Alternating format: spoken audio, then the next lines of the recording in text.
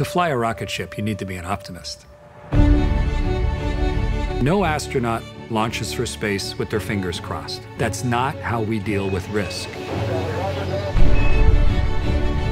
What I learned from 21 years as an astronaut is that the more you know, the less you fear. The reason I wanted to do this masterclass is to share the hidden depths of purpose that are behind space exploration. Hits zero, start focusing in, thinking of nothing else but the moment that you're in. Study every system on a spaceship and then boil it down to what I call a one pager. You've got to be able to solve your problems in one breath.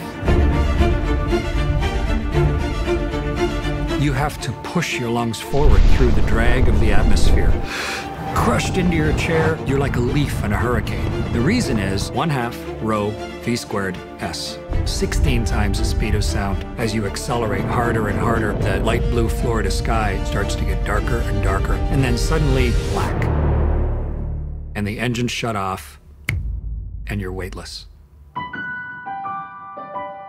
Turn the handle and open the hatch. You pull yourself out into the universe, and now suddenly when you move your knees, you can feel the searing heat of the sun on one side and the incredibly cold emptiness of space on the other. When you're no longer Earthlings, how do you navigate? You can use the stars. You can actually see how that place where you were raised fits into the overall complexity and reality of the solar system. You start to unavoidably wonder are we alone in the universe or not? Our technology is just good enough now that some of you taking this masterclass are going to fly in space. Reusable rocket ships give us access to explore like we've never had before. It will be a great moment of introspection for humanity if you're the person who finds that one little fossilized flower on Mars.